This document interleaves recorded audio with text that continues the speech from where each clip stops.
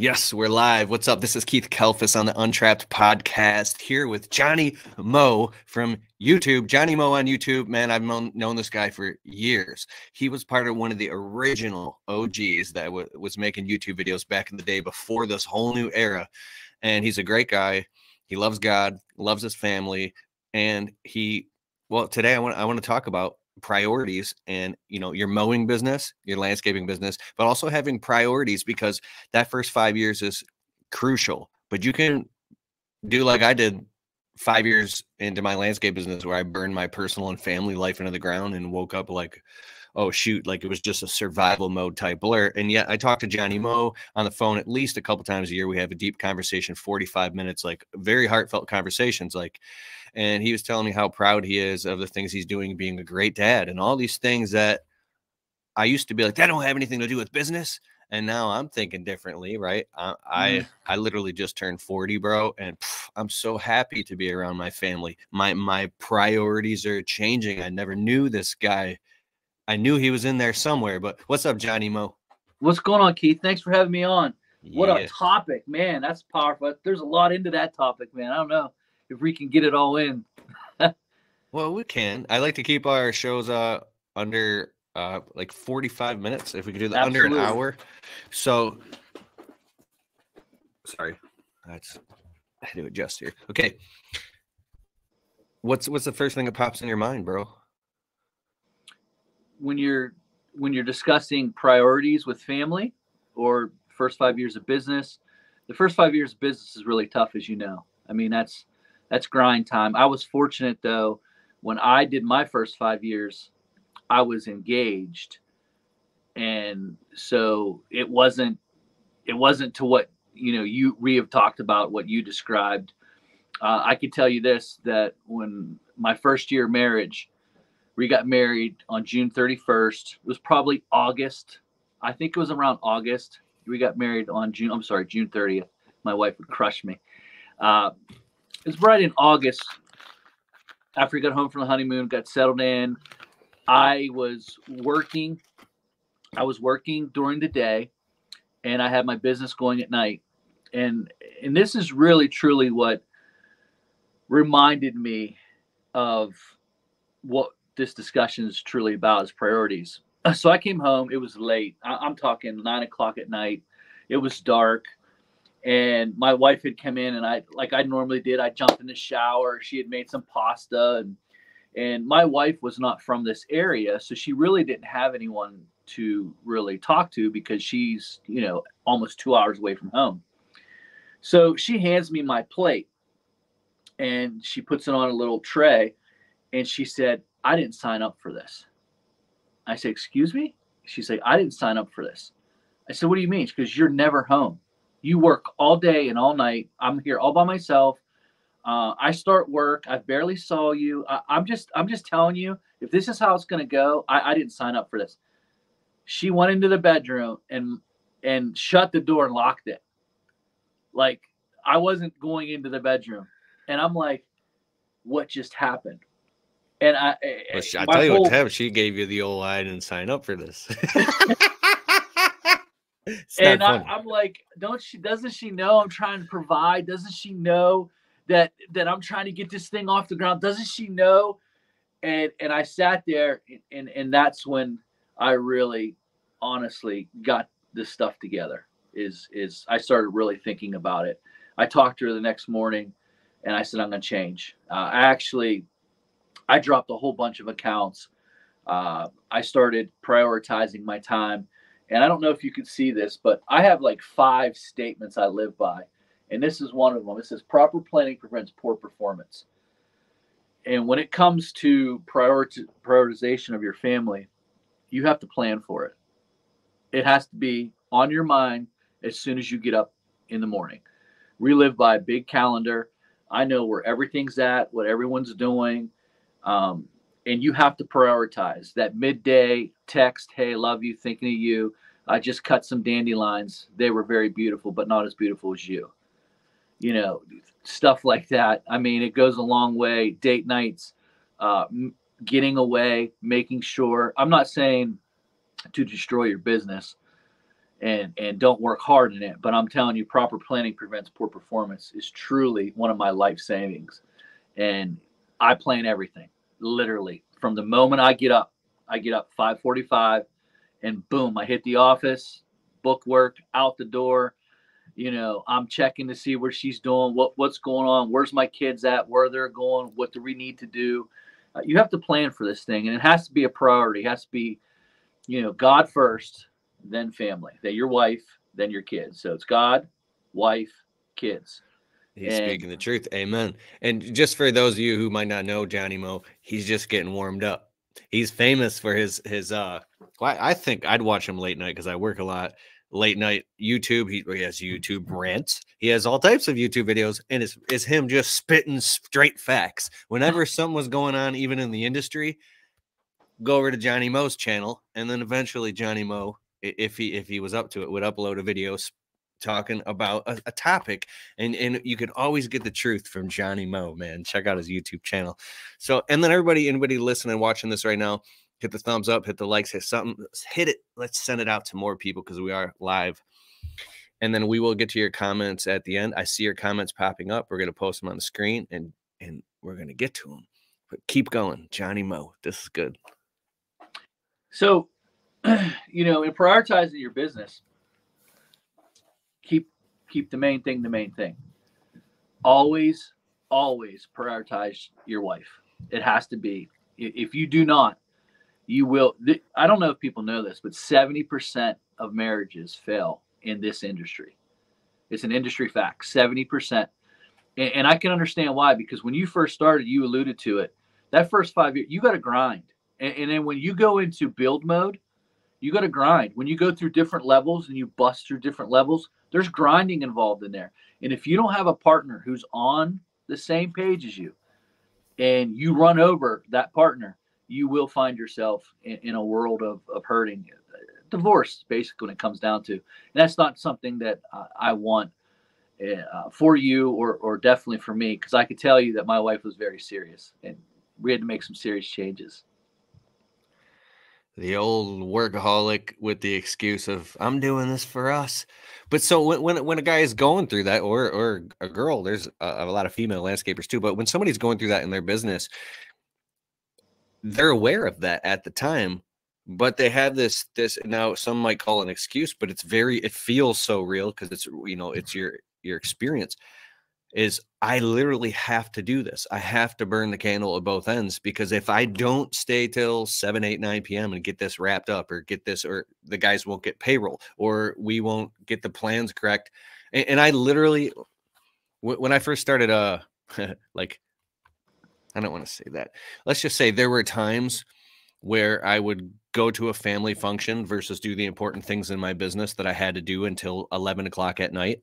I didn't do them. I, I, put family first. And then we literally showed up on the landscape project the next morning and everybody's standing around with nothing to do. I hadn't gotten material lists ready. I hadn't done anything. And literally everybody just sat, not everybody, it's like three guys like, like sitting around. Cause to me, it feels like, you know, sitting around doing nothing, getting paid to do nothing. And it, it cost me hundreds of dollars because I went to a family event last night. I didn't have anything. I, you know, well, you should have thought that about that beforehand. This is the voice in my head. You should have planned that better. And it's like I so I it, what it did is it squeezed me through the cracks of uh, where I was having uh, like mental health issues, where I was beating myself up, saying, uh, I don't like to cuss too much. Actually, I can't cuss. I'll say F because we're on like eight social media platforms. So I got to make a choice. I'm either going to F myself and F my clients and customers and my employees, or I'm going to F my family. Who am I going to pick? And I would just implode and do it to myself. And then I would just say the only way to do this is to work up, wake up earlier, work harder, work longer hours, sleep less, and just be Mr. Do It All. So I was running off of adrenaline around the house and I became a complete asshole. And I hated everybody and I hated my business and I had multiple implosions because when you're stretched so thin, and and I think enough. I don't want to take over this podcast, but that just triggered me, bro. Well, Keith, you know, proper planning prevents poor performance. I read a book called Tell Your Time. Tell Your Time. you are in charge of you Inc. So my name is John. People call me Johnny. I'm in charge. So if I'm running around like a chicken with my head cut off, it's because I made it that way. So if I made it that way, I can change it. The word no is so very powerful. And I say it so often. You know, hey John, can you do no, I can't. Why? Because it doesn't fit into my time. You know, you know, my kids, they laugh at me because I would just just because the phone rings doesn't mean that I answer it. Just because I receive a text does not mean that I open up that text and read it right away. I have certain times that I do things. And my kids are like, you got to read that text. I said, why do I have to read that text? There's no reason. Just because someone texts you doesn't mean you have to read it. There are times where I will open up a text and there are times where I'll answer the phone. That's what a voice message is for. When I grew up, we didn't have phones. You went outside and played all day. You had no idea what was the world was going on. Now we're so plugged into the world. I just I just choose I choose it. It's it's mine. It's me. I made the mess. I'm going to clean the mess. Um, this old old guy, he was probably a 75 years old, and he was a mentor to me. He owned a, a contracting business. And Keith, when I say I, I sold way too many lawns, I mean I was I I I decided as a solo guy I wanted to cut everywhere and anything and I sold all these lawns and I'm I'm running around like a chicken my head cut off. It rained for two days. I'm swamped. I'm working 12 hours. My wife's mad. Everyone's mad. The customers are mad. I'm mad. Wife's mad. Everyone's mad. And then we had a Wednesday night service and I couldn't make it. Wednesday night church service and I couldn't make it because I was out cutting till dark. And I came home and I talked to that guy. I called him on the phone and he said, I started complaining right away. I said, "You don't understand, Jim. Uh, everything's going wrong. I'm so busy. Uh, I can't stand this. Uh, what am I going to do? You've been in business." He said, "Get up out of your chair right now." I said, "Okay." I got up out of my chair. He said, "Go outside." I was like, "Jim, it's ten o'clock at night." He said, "Go outside." So I go outside. He said, "Look at your truck." I said, "What am I looking at? It's pitch dark. I'm in my skivvies." I'm like, what? He said, What's the name on the side of the truck? I said, It's my name. He goes, Fix it. You created it, you fix it. And ever since then, I, I, just, I went through and I dropped all the customers I needed to drop. And I decided, I decided that I was going to work a certain amount of hours and I was going to live a certain way with financial freedom, be financially free as a solo as a business owner. It's the best thing I could tell you to do. Um, and just you decide. You decide what you want to do. Proper planning prevents poor, poor performance. So I got a little book. Here's a little book. It's a planner. It gives me all the days, all the hours in a day. Everything's in there. And I look at that and I took take a look at the job list. I decide how many hours I want to work. Okay, I'm going to work 10 hours today and then I put the jobs in there. I did that. I decided to do that. I don't let the I don't let this business control me. I control it. It's my business. And if you don't, if you don't get get a grip on it, it will cause you. I mean, I've had mental breakdowns every year. 2009, big mental breakdown. you said? Did you say every year? No, I said 2009. Oh, I must have heard every year because it's every year for me. No, I, I, I since 2009, uh, I've really just really controlled it. I, I really do. I mean, obviously, I think a big key to this is we call it the spring rush. I call it the spring rush trap. But the spring rush basically, it, it's known from April 1st to about July 1st, July 4th. It's called it's the 100, 100 days of hell. The 100 yeah, days of hell. It's, it's on and popping. And, and I think – you know, I have a family meeting. I had a family meeting a couple weeks ago. I was like, listen, this is daddy's time. So you, you know, let's let's decide what's important because the next three months we got to get it in here because that's that's that's the key. You're starting the year off April 1st, July 4th. Everyone everyone wants everything. First round, second round of fertilizer. They all want their mulch done. They all want their grass cut every single week. It's it's a lot to do but I think there has to be some compromise with you and your spouse and your family also. You know, you got to sit and compromise and be on the same page definitely financially. You have to be on the same page financially. You got to if you're solo, you can only make so much. There, there's a lid to there. So if you're going to live financially free, you're going to have to make some adjustments to the way you live. Maybe the house you have is not a 5,000 square foot house. Maybe you're not driving BMWs. If that's your thing, that's fine. But there's some compromises that you have to make because there's only so much money you make. But you know, I want to be able to, if I want to go out to eat right now, if I want to go on vacation right now, if if I want to go shopping right now, if I want to buy, I, I don't want to have to look at my bank account and go, oh my God, am I going to make it?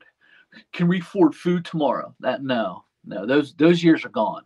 So that's the goal is financial freedom in whatever area, whether you're solo, whether you're solo, you have two trucks going out, whether you have a conglomerate where you have 10 trucks going out. Uh, being financially free and definitely telling your schedule what you're going to do is is huge for me. Bro, you just hit a hot button. I've never ever told this story because I've been embarrassed and I'll make it quick. This is what changed everything for me. I'm dead serious right now. And I hope the right people are listening to this. It wasn't last summer for sure, but it was the summer before that. Just I spread myself so thin and I was putting so much pressure on myself to be successful that I was uh, beating myself into just working at a whole new level and listening to motivational stuff and and yeah. I was spread so thin. So I, I one morning, uh, I hadn't gotten out of the field yet at that point too. So I'm still like running the crew and the guys and doing the sales and marketing, plus running an internet business, plus all the stuff going on. Way too much going on, and I, I'm up in the morning. I'm like shaking, trying to get out the door, and I'm I'm late didn't get any sleep. Dog was throwing up all night. So on three to four nights in a row. And Ooh. so I was on edge because we have like a sick dog. But anyways, I, I went. my wife was trying to like ask me a question about something else important. I was like, I, I can't talk. I got And then all of a sudden, I got this pain in my chest, and it was it felt like my heart was in a vice. Man, could have been a panic attack. Could have been almost a heart attack. I don't know. But it was so intense that I tried to ignore it and force through it. Mm-mm. Dude, it brought me down to my knee on the kitchen floor in front of my wife. And I was about to say, call 911 Mm. And then it and then I tried to get up and run out the door and it brought me all the way down to laying on the floor and I was holding my heart like like this and like uh, I I don't know if I was scared or not but I was on the verge of saying call 911 and then I was like okay just breathe it's just a panic attack get up I went to get up and go out the door again like I know no bitch bro that's that's what I would tell myself anytime I I wasn't performing at a high level I would just beat myself up and call myself a little bitch and say, just do it anyways. And I went to get up and go out the door again. Boom. It came back and it brought me all the way down. And I was laying on my kitchen floor and I was out like and the feeling that had came over me is like if you don't change, you are going to have a heart attack before you're at 40. And uh so what whatever that was, this so so here's what it is. Here's the lesson. That this thing happened where I realizing I realized a hundred percent. I've I've been a different man since that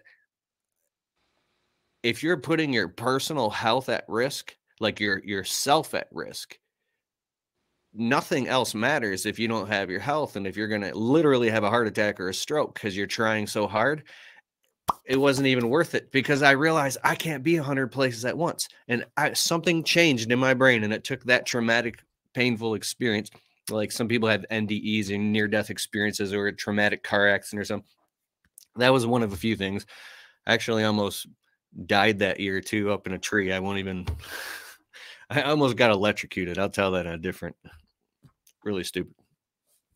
Um, and and it, any it could have happened to anybody too, is what. It, but anyways, those couple events had literally changed my life, and since then, both of my businesses have gone up. I've made more money, more more uh, more profit in one business, but I'm way happier and way healthier. I feel amazing, but it took that traumatic experience, and I don't want people to go through that. So that's your perspective changed.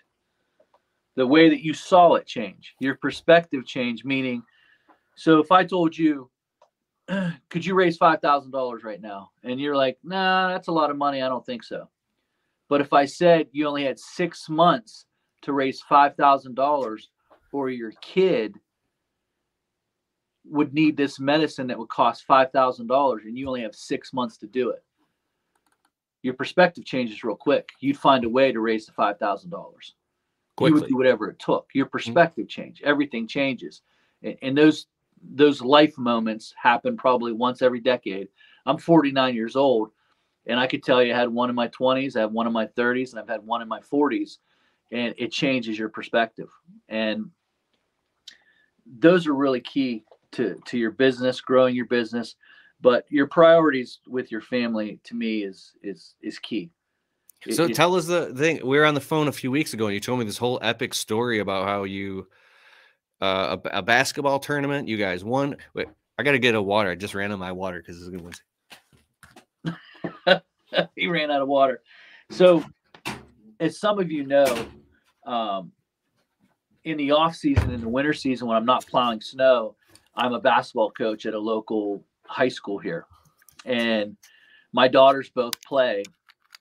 And you know, we've been we've been going at going at this for about eight years, and so this year uh, we had a really good team, and we ended up winning a championship. We ended up winning a state title. Uh, just a phenomenal thing uh, to go through with your kids. In fact, I'm going to show you some pictures here. Johnny this is this is a picture that was put in the paper of me hugging my two daughters after a, a, a championship, and uh, one of the local papers caught that image. It's just so awesome. Were and, you guys like crying? Yeah, dude, that's epic. Here's the official paper. You're like the best dad ever. Wow, that's amazing. Yep, here's that's the paper. So amazing. All, all the people watching right now are like, my dad never did none of that shit with me. Here's the two medals. Here's the state medal. Wow. State. What state? Pennsylvania. And here is the this is this is called the WPIAL. This is this we won our our half our our half of the state, which is section seven, which is hard to do, but then we won the main, the big one. Is you won it. Yeah, it was it was an awesome experience. Whole family involved. I mean, it was a great it was great, you know, to work. My my oldest is a senior now. And she's going to go off to college and and she finished off her senior year uh, as a state champion. My youngest is in 10th grade. And so we give another 2 years with her. So, but you know, this business does allow you when you tell your time, it does allow you to to when you prioritize to do stuff like that. You know, I was able to coach the. I've been coaching my girls since they were in fourth grade. Keith, you. So you, you like li- literally go to work and go straight to coaching after work, or do you, do you build in enough time to you know go home and take a shower real quick and eat and then go do it? Like, are you constantly running? How, like that's this is epic. Well, coaching, you know, for winter, coaching in the winter, um, so you're off but mm. it mm-hmm. starts restart our season about October. So I'll just cut the day short at two o'clock, come home, get a shower, go to basketball practice at three, get done around five thirty ish. And sometimes I'll just go and grab the trailer and go again, or sometimes I'll just call it a night. Just depends on what we're doing, you know, stuff like that. But again, tell your time. Everything proper planning prevents poor performance. So when you know you have something like this, the only thing snow can be a little tricky. Luckily, we were in a snow event where, you know, by time I got off the bus, sometimes we would play in Pittsburgh. So we travel an hour back and then I'd get off the bus. I would jump in the plow truck, go do what I had to do, come home. And then, but, but wintertime, I'm off. Like this winter, we only had two plowing events. So I was off all winter. Mm-hmm. So it was, it was a great, I mean, this was, this was probably it ranks up there in the top five moments of my life for sure. 100 Congratulations, man. Yeah. It's amazing. Yep. Good for you. And now uh I said Johnny Mow's a believer. Tell us, tell us some about that, dog. Well, I mean, you know, out of everything in life, I think you know having a relationship with Jesus Christ is probably the most important. Um, it's not probably it is. Um, I wore the shirt. I actually uh, actually preached a message this weekend on Sunday. I preached a message called Duty. Um, Wait, you preached a message called? How were you preaching a message? Where? I preached at my church. I preached. I probably preached probably five, six times a year at my church. Probably, maybe a little more. I'm not sure. Maybe five, six times. I love it. And what was the message? Duty. Duty. Mm-hmm. Um, your notes. responsibility as a Christian. Duty. Ecclesiastes chapter, I believe it's chapter 12, verse 13, talks about the whole duty of man. Your let me hear the whole conclusion of the matter. Fear God and keep his commandments, for that is the whole duty of man. And I broke that word duty down, basically uh, talking about Christian disciplines of going to church, reading your Bible daily, praying, um, you know, praying when it's tough, praying when it's, or reading your word when you don't feel like it, reading your word, going to church when you don't want to, making church a priority. Priority. Um, since COVID started, you know, it's easy just to check online and you know watch your service online but you know i, I believe that you know it, it's your responsibility as a christian believer to go to church as much as you possibly can. I love but, that man. So it's the whole duty of man and i just did a whole message about you know doing your christian disciplines even when you don't feel like it even when ah okay. even it's your duty. It's your duty. It's your it's responsibility. Your if you're only going to serve god when it feels good. You're only going to serve God when it's convenient. It's you're, you're to me, you're just not much of a Christian. You're, You'd be a lukewarm Christian, right? Well, you're lukewarm, but Jesus you know, said, "If you're lukewarm, I'll spit you out of my mouth." Yes, he, he did said, say that. He also said, uh, "If you uh, did he'd rather eat... you be cold or hot, but yeah. if you were lukewarm." But I think I think the responsibility of Christians today is is everyone wants to do what's easy everyone wants to do what feels good and they only want to serve god when it's when it's in their parameters.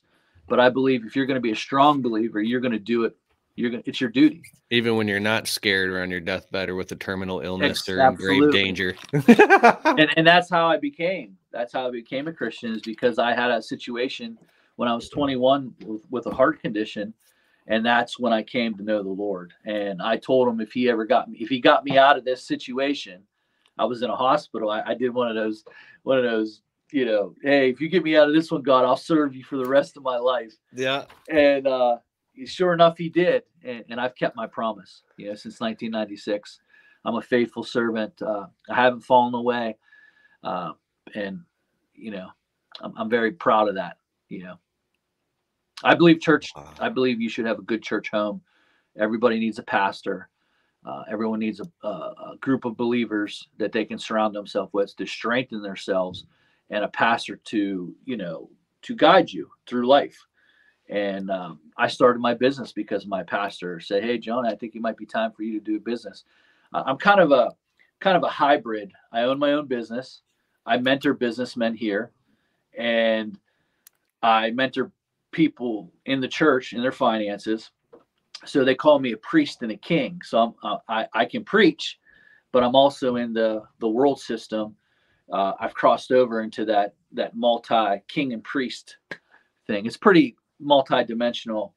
You know, you work in the marketplace, you present yourself oh. in the oh. marketplace, and you also are in the church. Wow. Dude, you're giving me an epiphany right now. Yes, I believe there's seven mountains. A seven mountain theory. Se- uh, wait, seven mountain theory. Yeah. Tell us the seven mountains. Let's go. Well, he's over here taking notes. Uh, I believe that there's seven areas uh, that the church has neglected. The church has basically went into the church and made the church the four walls, and they've neglected seven mountains that could impact the world. One is media. Um, another is business, politics, um, arts and entertainment, and there's there's three more, but it's not coming to me off the top of my head. But those areas, um, I believe everyone is called to an area, and I believe that they can rise to the top of that mountain and have influence in that mountain and bring a godly perspective with Christian integrity into those areas. Ooh, like, you said so, a godly perspective with Christian integrity into those areas. Like take education. Take See, education. I want to say one thing real quick. People come on the podcast because I'm dead serious about this podcast, and we're, we're dropping fire on this podcast. The first like two, three minutes of a podcast, we're just getting warmed up. And some people might tune and be like, what are these listen to these guys? Well, they're not going to about talking to them and none. And then like if you just hang around for a few minutes, then all this this gold, you got to invest a little bit of time, bro. All right, keep, I'm sorry, say it again. The integrity. So say it again. I was writing it down. I interrupted my dang self. Come on. so taking Christian principles with with with integrity, Christian integrity, going to these mountains. Education is a mountain take take a, a Christian who would take the teachings that he's learned in his church and from the Bible and stepped into the mountain of education and think how they could take that mountain over and, and start to really teach and and mold the minds of a youth. Instead instead the world has taken that mountain and now they are molding the minds of our youth. So when my kids come home they'll say so and so taught me this dad. So and so taught me this. And i'll say okay this is what i think. This is you know this is what how you should present it. And you know imagine a politician who was a christian who had ethics who had integrity mm-hmm. and was anointed by god to do it first of all the mm-hmm. anointing of god King David, he was not a priest. David was a king. He was not a priest. He was not a he was not like a, a minister. He wasn't a pastor. David was a king. And because he was anointed by God to do it, and he walked in those callings with it, it says it says that David was a man after God's own heart. Mm. So hmm. he led, he, he's considered to be one of the greatest kings in the Bible. So that's a mountain.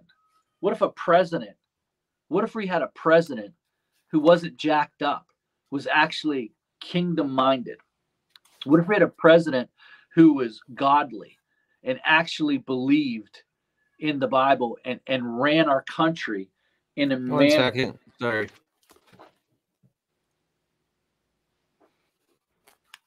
Man, I built a sixty-five thousand dollar studio. We just had new neighbors moving next door, and their kids are out back. We, I'm sorry, my neighbor before had a hundred foot tree like could have fallen, and we got it cut down. There's a tree stump, and they're probably on the tree stump going. Ah! Let them have. So fun. I got to put some soundproofing on the walls.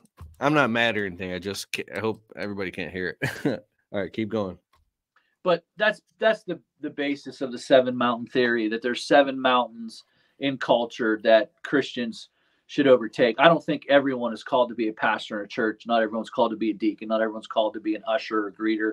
But there there are ministries outside the church. We call it marketplace ministers, and and that's marketplace ministers. Wait, yes. what is a marketplace minister? It's someone like me. You know, I'm not a true pastor. I am not uh, uh, called to the fivefold ministry. But what I the do fivefold do, knock my headphones off. The fivefold ministry? Yes. Is, what is this?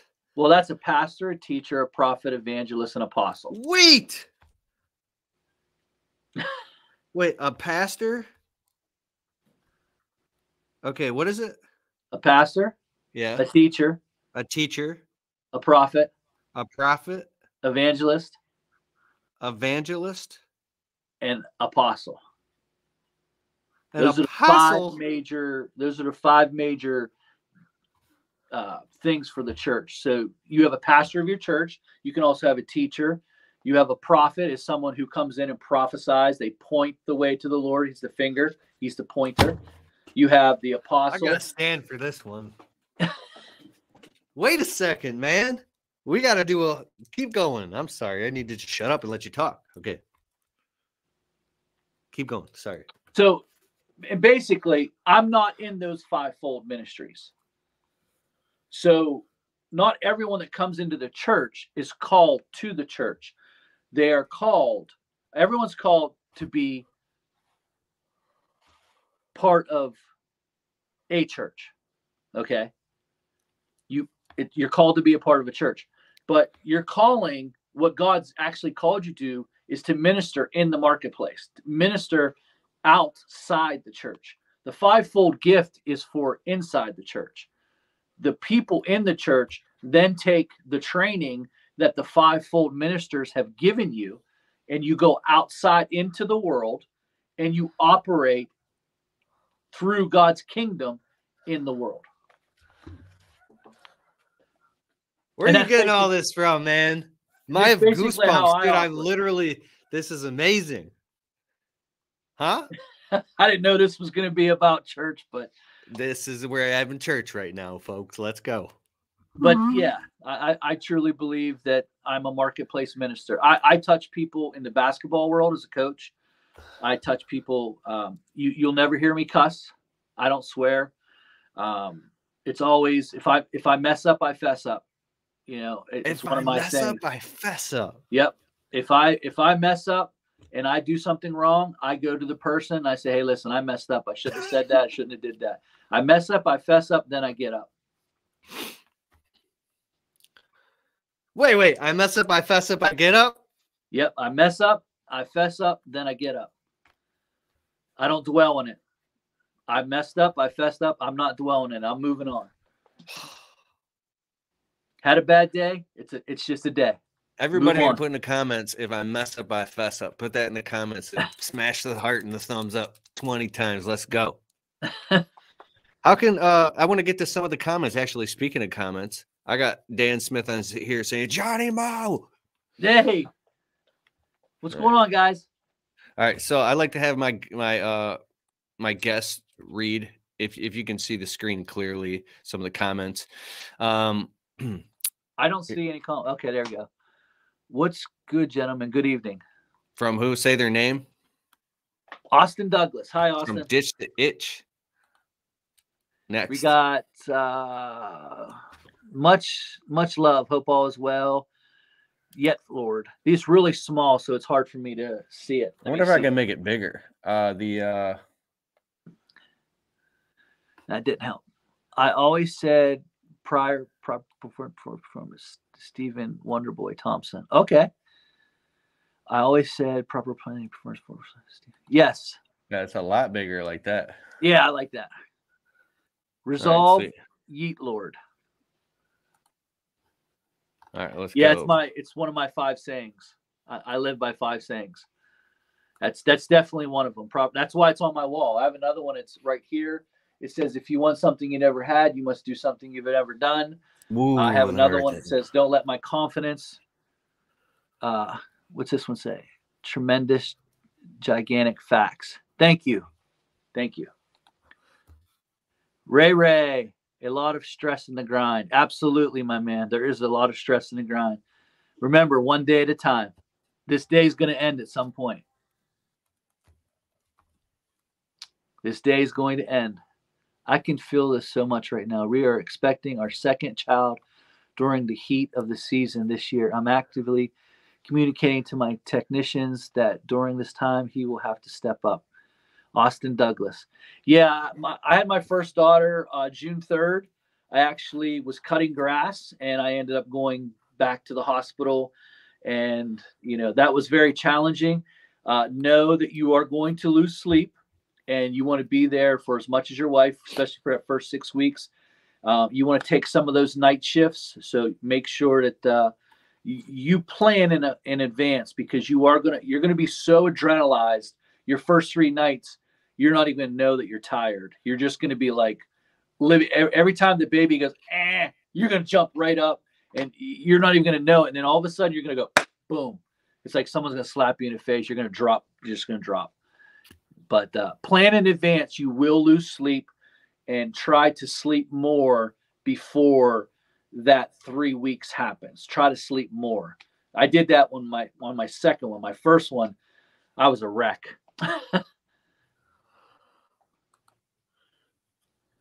There's a definitely happened to me. The longer I'm in business, the better time manager I've become. Ray Ray's lawn care. Ray Ray. Yeah, I mean it's you know you know how much you can do, and you know when you start to overload, and then you can once you feel the overload, you just say, hey, that's enough. Cut the cut the sales off, and take take the people that are causing you to be feel overwhelmed, and, and get rid of them. Love it. And then we got um Joy Joey Biden says Keith, I love your channel. Unfortunately, I don't ever have much time to tune into these live videos. It's so much cooler watching you because we're in the same area too. What's up, bro? Yeah, and if you don't get a chance to tune in here live, Untrapped Podcast on Apple and Spotify, go check it out or any podcast platform. We'll see over there. We're now dropping two shows per week, every Monday and every Thursday. If you're also if you're on my email list at Keith Kalfas, you're getting an email from me with all the show notes as well, directing you to Apple and Spotify. Mondays and Thursdays, we're up to two shows a week now. We did normally do just one Mondays, but yeah, tune in to the Untrapped podcast. You're killing it. Yeah, dog. Ray Ray, it's all about your time. That's what we said. Sell. The older I get, the more valuable my time is, and becoming master of my time is critical to life success. You know, if I could, he he hinted at something. If I could go back 20 years, the one thing I would tell myself is I would raise my prices. I would definitely eh, definitely charge more for everything you did. I, I know that sounds counterproductive you're just getting into business, but I would make yourself a luxury. Remember, the time is the one thing you can never get back. You cannot get it back it, it's such a precious commodity. So you're selling time for money. No matter how you do this or who you work for, you're selling your time for your for money. If you own your own business or you work for someone. So you want to get as much value for your time as because you have to honor your time because once the time runs out, you're not going to sit on your deathbed and say, "Man, I really wish I would have worked another day. I really wish I would have worked a couple more hours." You're going to be talking about all the great times you had when you won a state title with your kids and, and you got to be in the biggest paper in Pennsylvania hugging your two kids, you know, those are going to things that you're going to remember. You're not going to remember cutting grass. And Mrs. So and so who's yelling at you because you forgot to do the weed whip around the corner. You missed my tree in back, Johnny. You missed it. She's you're not even going to think about her. So just drop her now because she's not paying enough and, and move on. And Johnny, can you come and cut it every other week and cut it shorter? No. Why? Because my time's worth something. Don't take those bi-weeklies. They're just a pain in the butt. Go ahead, Keith. Jared, no, I just dropped a customer last week. It's actually one of our longtime clients because I narrowed our service area. It's uh it's just outside of our six mile radius. And we do their property maintenance everything. We do their mulch, but they have red mulch and they love their red mulch. And I hate red mulch and the, the little particles. It just takes so much longer to, to clean it. And I had to, I raised their price. And I just dread doing this, this one specific property. I, I can't say why. I just don't like the property. I, the people are great. And I, I dropped them just because I did not like that specific uh, property and that and that I, I can't even explain it because from the outside it sounds like why would you do that? Why would you do that if they're paying on time and everything? It's like because I'm running my business on my terms. And um yeah, I like that. I'm only doing jobs that I like that I want to do for the profit margins, but you know, I paid my dues over a long period of time to get to that point. In the beginning, the first few years, you got to take everything that you can get. And you talk about raising your prices. Yes, you talk about managing your time and not running around like a chick with your head cut off. True providing that you have the money to afford you the time and proper planning like if, we do a landscape job let's let's say 8 10 12 15 20000 whatever it is let's say we do a $16000 landscape job and i bake in on an automatic 50% gross profit margin or i can't take on the job and then i know exactly how it's long it's long it's going to take me I've also built into the plan, into the budget, that I need this much time to plan, and I'm charging for that. Um, and also time for getting all the materials on the job site, even the amount of time at the end of the job it takes to do a full proper cleanup and walk around, detailed property walk with the customer, the time for all the deposits and money collection. Like everything is all baked into that, still including a 50% gross profit margin because the money is there. The money affords you the time. If you made $150,000 a year and you, ah, you only had to work 10 hours a week, you'd have all the time in the world because you made 150 grand and working 10 hours a week. But if you made only 20 grand a year working 70 hours a week you wouldn't you'd you'd be, you'd be frantic. So it's like I, it's this weird thing that money is like oxygen and money totally controls the equation. If there is not enough oxygen you're going to be gasping while somebody else has like abundant oxygen. They're like why are you gasping for air? Look, you're an idiot. So stupid, running around gasping for air all the time. What an and then if but if, you switch shoes with that person, they'd be gasping for air too, and they'd be laughing at you, laughing at each other. Eh, well, not at each other. The guy would be laughing like because now you're in his shoes. But here's the thing: when you change the way, way you see things, the things that you see literally change. And it's like going through. It's like putting your hand on a hot stove and it burns the hell out of you. Like running around I'm just on a quick rant here. Yeah. Um, for your customers, because when I have people on the podcast that have been through stuff and they've come to these conclusions, then they'll speak it from the end result. I'm obsessed with the emotional, the the breakdown sometimes you got to have a breakdown in order to have a breakthrough. So you have the breakdown then it gives you the breakthrough and then this wall goes up which is don't put your hand on that hot stove anymore which means that like even if you feel like you need the money don't buckle and say yes to a customer to do something that or if if you can't get the money that you need to make to do the job. So it becomes like these stop losses or these things where i don't care how much pain i'm in i'm not doing that. But then when you switch your the reciprocal of that it's like you have a, scarcity mindset and then you have an abundant mindset. When you realize that it's, we're actually in an abundant universe, God feeds the birds and the, the trees yes. and bees and all this stuff. Yes. Like there's so much work out there. Yes. And if you could just pull yourself, your your um, there's a saying, a guy is frantically mopping all the water all over the floor with a mop. And he's like having a panic attack mopping somebody else comes up and notices that like the sink is just clogged and that's overflowing all over the floor. He's like, bro, why don't you just turn off the water and unclog the sink? Like, what you? he's like, are you kidding me? I'm too busy mopping up all this water. So it's like this, it's a stress reactive state that comes from some trauma or some negative thing that happened, or like I, I'm I'm the dude for I went through all this crazy stuff and it was about getting around successful people and hearing stories and listening to podcasts like this that just forced me to pull my head up out of the sand little by little. And every time it was like a spring loaded thing every time i would like tune out of other people like, like this my head would go right back into the sand and i'd go into this reactive state in, in my business. I was suffering. And because you have all of the evidence around you that tells you you can't get the money that you need for these jobs and the competition and blah blah like if the customers won't and it was like uh, water seeks its own level. It's so weird when you upgrade your identity and you upgrade your worth and you feel worthy. It's like imagine if a, a customer's like uh, oh, okay I want all these things done. Give me a quote. How much it's going to cost? You're gonna be like, well, normally it's like 700, but I'll do it for like 500. And then the customers, but the same, I've watched the same exact, I don't know where all this is coming from. Just let me finish. I've watched same exact customers that I was upset because they would reject my quote for like a grand to do their whole property plus mulch and all this stuff with like $2,000 job for a grand. They say no. And I'd be beating myself up.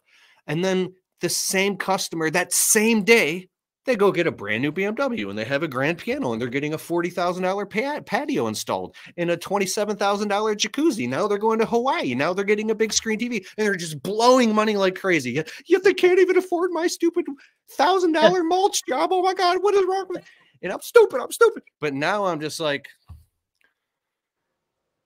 well, yeah, you want this, this, uh, yeah, it'll be about 2200 bucks when you want it done. And it's just like, and they're just like, oh, yeah, as soon as possible. And I'm like, so what changed? What's going on here? Do I have control over the etheric universe? because I just so something weird is happening. I can't put my hand on it, but my my finger on it. What is the difference that allows you to manage your time? I think it's you. I think this whole thing of uh the when you change the way you see things, the things you see literally change. There's some quantum interstellar stuff going on here. When you upgrade your identity, everything changes. That was a rant that came out of nowhere. All right, next comment. That's awesome. I, I, tell you, the book I read that really helped me with my time was Tell Your Time. And, tell and that, your time. Tell your time. And it, it, really, you know, when you put a calendar in front of you and, and you start to input the stuff into that calendar that you need to get done, and you started putting hour by hour, uh, that's really what started to really just blow my mind like okay i'm just unrealistic on what i can get done how i can get done. And obviously as you mature you know i, I did a, a, fertilizing estimate for a guy. He i measured his lawn out and, and i already knew that he was he, he was cheap basically he was just a cheap guy. So i gave him an estimate of $220 fertilize his lawn and he looked at it oh no no oh my good he dropped the estimate and I'm sitting there, I'm looking at him, and there's a Porsche right here. We're in his garage. There's a Porsche right to my right here. And he's like, if you can do it for 150, you can have it. I said, no, that's it's not going to work. And, and, you know, during the conversation, we were having small talk, and he was talking about, you know, when I go out to eat, you know, it's just been so expensive. You know, you know, I I, I like to have a, a glass of wine or two at dinner, and you know, that's like nine bucks for a glass. So it's $18 and my wife likes to have a couple glasses. You know, we're spending over a hundred bucks. And I said, Mr. So-and-so, I said, we were just sitting here talking and you're drinking $9 wine. And you're telling me that for $220 to get your lawn fertilized, sprayed the weeds, get it the way you want, it's too much. And he's like, and he's spending 36 extra dollars every single time he goes yeah, out to eat just and for I'm wine. Like, and he's like, I said, You're you're spending nine dollars on a glass of wine and you're beating me up for a hundred bucks here. He's like, You're right, Johnny. Go ahead, do the job. But when I was young, I would have probably You should have got pissed. No, you're choosing your wine over me, is what you're doing. Yeah. Just get all schizophrenic on him. All right, all right, take it. I'll pay you double if, when I was younger, if I did that bid, I would probably try to find a way to do it for 150 bucks. Yeah. You know, but as you get, as you know, you're worth you're worth something. And when you put a calendar in front of you and you start putting the priorities, what is your priority list? Priorities over here. What is the most important thing on that priority list? God first, wife, kids, work, church, hobbies. That's the priority list. And once you get those priorities line, and but wait, where do you come in? What's that? Where oh, I'm you come in on the priority list with the God list. I'm up there with the God. Really? So God, God. Yeah. Wife, kids, work, church, hobbies. Wait a second. So you is this a trick? What do you mean is it a trick? I don't think you I don't think you can be a healthy individual without putting yourself first, meaning spending time with God, doing those things, spending time with God, reading the word, uh, going to church. I, oh, I follow me as I follow Christ. What's that? Yeah. Follow me. Yeah, oh, follow me as I follow. Yeah. Divine order. Oh. This is not secular order. Yeah, but I mean, but some people, you know, some people will go to the last, which is hobbies, and that's basically putting yourself first there. They'll take all their hobbies and what makes them feel happy and whatever they feel and then they live through the last one is their hobbies. It's all about me. It's all about me. It's all about me. And you, are not going to live a very successful life. You're not going to be married too long either. So i believe god wife kids. Love it. All right. Next comment kurt bryant. Two days behind 12 voicemails with more lawn cut quotes and lawn plantings. Sorry, tomorrow. This week has been a mess, and it's most certainly my fault. Ah, you got the lawn. You got the spring rush trap. yes, you sold more work than you can possibly do, and and this is what happens when you're in a spring rush trap. So you're in March, the phone's ringing. You're in April, the phone's ringing. Yes, I can do that. Yes, I can do that. Yes, I can do that. Well, now it's time to do it, and now you're you're in that crunch, and now you're like, I got to find a way to do all this work. So you end up, I'm going to buy the bigger mower. I'm going to hire five guys. I'm going to do this, and all of a sudden you waste your whole year, jacked up because you got caught in the spring rush trap. You bought stuff you shouldn't have bought you hired people that you shouldn't have hired, and now you're in the spring rush trap. So, what do you do now that you're in it? You take a deep breath and you say, literally, you you take your book of work, you take the book of work, and you really look at it, and you start to put it on a calendar. And I mean this: if if you're not planning, if you're if you fail to plan, you plan to fail. You put all your work on a calendar and you be realistic about it. You're looking at it. Now you know what you're doing, when you're doing it, and how you're doing it. And so now you have these times, these little time things. Okay, uh, I can do this mulching at this date. What if it rains? Well, then I could push it to this date. If you booked your whole year and you're still booking, that is on you.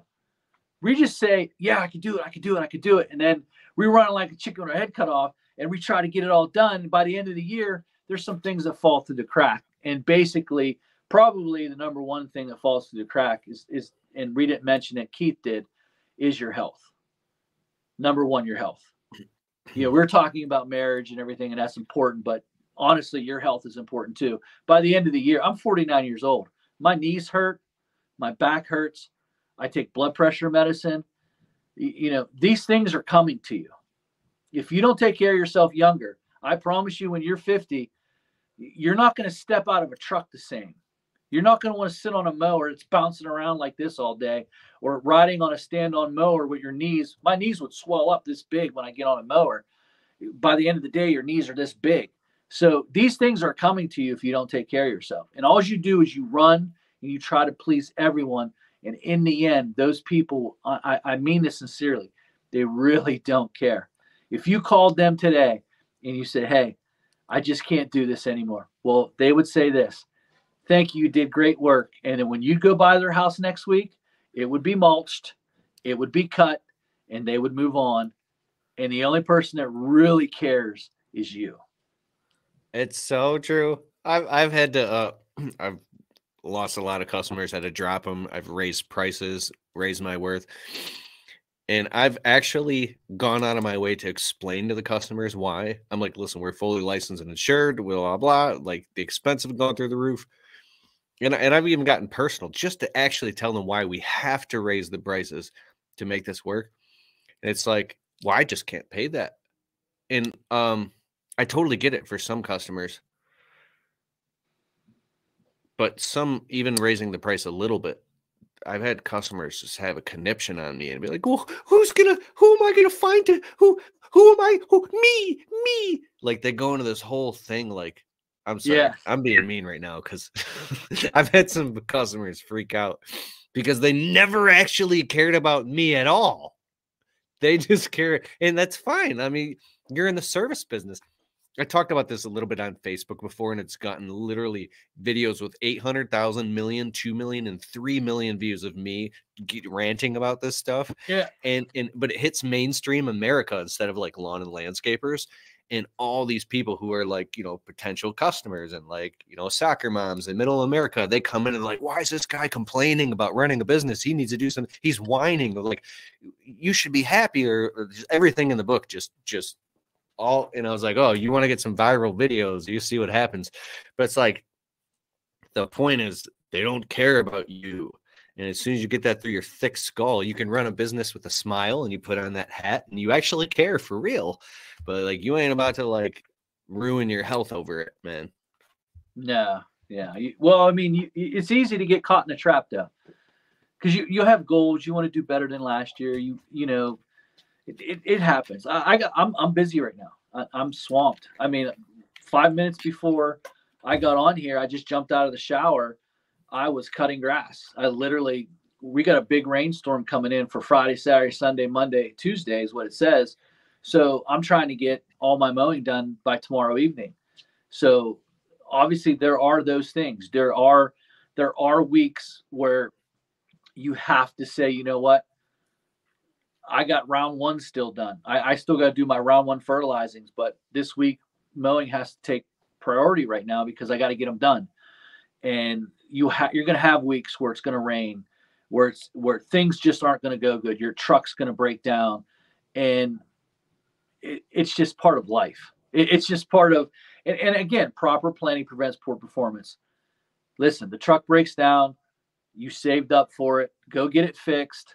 Take a deep breath, and and get back to work the next day. Honestly, it, it, it it's not that big of a deal, but it it looks like a massive deal when it's sitting in front of your face. But it's really in the grand scheme of things, if you could really look at it. I mean, I've, I've been in this business since 1996. I've been cutting grass, fertilizing, mulching, pruning, grinding since 1996. I, I get the business. If if I could, you know, I didn't have this. I didn't have someone teach me landscaping like Keith does. I didn't have someone teach you how to do window washing. You you went work for a company and then you started your own business and you did you YouTube is phenomenal. You can learn anything. And if you could just, you know, learn to prioritize your time, to to realize you're not Superman. You only have so much time in the day be reasonable with it. You know, put your work on paper, on a calendar, on a whiteboard, and look at it and say, okay, I got this job. It's going to take me seven hours. So where on that calendar am I getting seven hours? Or I got 50 mowing jobs to do this week. So Monday I got to do this, Tuesday, Wednesday, Thursday, Friday. Put it all on there. That's the best advice I could give you. And, and charge what you're worth. Find out what you need to make. Everyone's different some people need to make $30 an hour. Some people need to make $180 an hour. Live somewhere in between. Do you. Just do you. But be consistent. Know what you need to make. If you need to make $80 an hour and you're only making 75, it's not going to be too long before you find out by the end of the year you're in trouble. Say, listen to everything he just said. You've been through it and you know. I love this. I want to get to a couple more comments before we wrap this up. Make sure that we can get your comments in.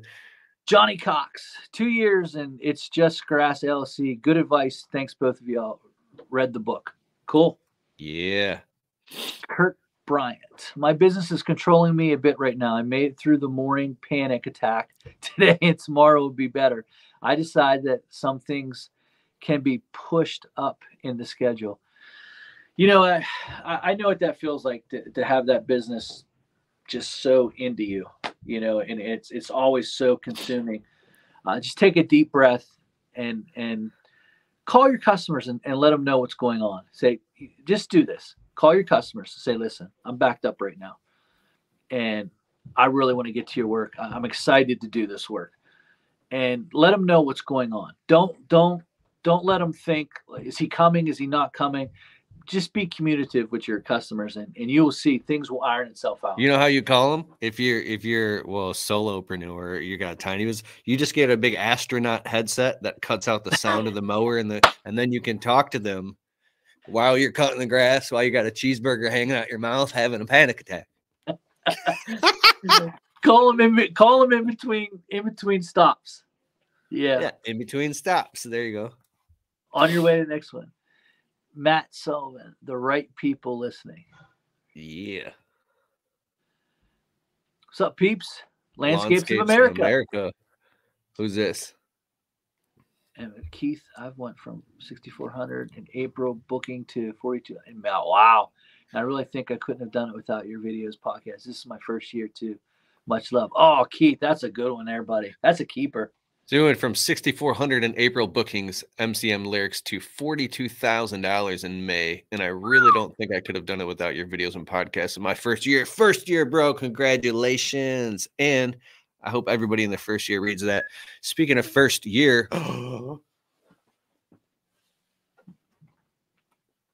where'd he go? Maybe just think of in my book the fir- your first year in the landscaping business. Yes became an Amazon bestseller in its category. Go to audible.com and download the audiobook and listen to it while you work, especially if you're in your first year or if you're just getting started or second or third year. I promise you it's a great book. You will love it. Yeah, now or the paper book book back book. Who's got time to read the paperback book? Man. Love it. Love it. Yo, guys. Carmen Knoll. Oh, I gotta scroll down. More comments. Thanks. Thanks. He says Google My Business updates are the way, Keith. I get three to four quotes after posting an update. It's absolutely insane. Yes, Google My Business now strictly it's on Google Maps. Be all over it. Google Maps. Nick Fire. What up, Keith? What up, Doe? Brandon Bryant says, What's up, man? Where in Pennsylvania? Johnny says Carmen Knoll. North of Pittsburgh, just north. Very nice. Okay, a couple more comments and we'll wrap this up. We got Brunner Lawn and Landscape says, Hey, everybody, I just got home from a day of mowing. This is awesome. Yes. Some green industry folk. Johnny, Johnny, Johnny, you cutting the grass too fast, says Joel Miranda. yep. You're going too fast, Johnny. Yeah, I just got my pencil out also. I just caught the chills when I get that feeling. Time to listen. Yes, Josh sir. Cool. Cool, cool, cool. All right, let's just real couple more. Dan Smith says, Johnny Mow. Hey. Adamant Landscapes LLC says, How's it going? What up, though? Great program tonight. Bushwhackers Lawn Care, Pryor, Oklahoma. Thank you. We appreciate it. And anybody else have oh Brian Race, who is Mr. Producer. We have a lot of fessing up to do. So when you mess up, you fess up. Mess up, fess up. I didn't get a chance to say this last time. Brian Race here right now. If you're listening to this on Apple and Spotify and you see me say, Oh, what's up, Brian Race, Mr. Producer? You might have heard Paul Jameson talk about Mr. Producer and Brian Fulton. So when you hear the intros and outros and ads on this podcast where it goes, uh, Welcome to the Untrapped Podcast. And now here's Keith or like the, the ads this that's mr producer he's here right now watching in the show and, and listening thank you so that's much awesome. man i appreciate you your talent your support your honesty your integrity mr producer is the man shout out okay man the, the comments are coming in um let's get to a couple more big worm i'll read them uh because right. i get i get a bigger screen here Gonna listen in while I work. Can we talk about paying taxes when you are just getting going, starting to make good money? Can we talk about basic economics, basic business percentages, etc.? Uh, I think you should pay your taxes. Get a good accountant. I, I, did from the get go. You know, I registered my business, went right into the thing, and, and I had a good accountant. And basically, you know, um, one thing I definitely do is I take every check that I get, I break it down. I, I do all my banking on Monday. Every Monday I'll do banking. I get I get my checks in or what I get through online and then I I pull out my estimated what I feel say 28%. I pull out 28% of my check. Actually, that's what I do. Pull out, pull out 28% of my check and I put it in to a separate account and I make sure it's there. So that's that's the most important thing is making sure that you're just not taking all that money and just paying, you know, doing whatever you want to and then at the end of the year because I did that one year. I didn't I my first 5 years I really wasn't making any money so I was getting I was getting basically a return and then all of a sudden I got a $10,000 tax bill and I didn't have $10,000. So I learned real quick the hard way. So don't learn like me take out I take out 28% of all the checks that, that come through every hmm. Monday and I put it into a separate account and then I give it to the IRS. Love it. I also want to add to that. So if you're a, a sole proprietor and you get what taxed on all the mm-hmm. everything that goes through there, and then if you're a single member LLC, then you have pass through income. But a, a way I'm not an accountant, I can't give you any advice. But if you're an LLC taxed as an S corp, what you would have to do is put yourself on payroll you can do it mm-hmm. yourself with QuickBooks or hire accountant, or do it with a payroll company. There's there's ADP, there's Gusto payroll. We currently use ADP. We're thinking about switching to Gusto. Put yourself on a what is called a fair salary.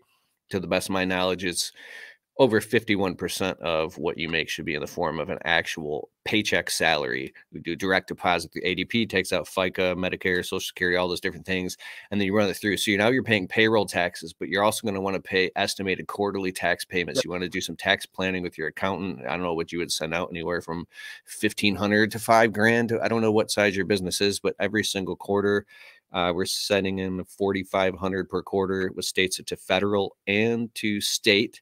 And then at the end of the quarters, when I wrap up everything with the accountant and given the P&L statements, the balance sheets, everything, sit down with them, and then the payroll, the W twos, and then the earnings. I forget the code. They're different codes, like I nine and W nine and W four and ten ninety nine and missile and this.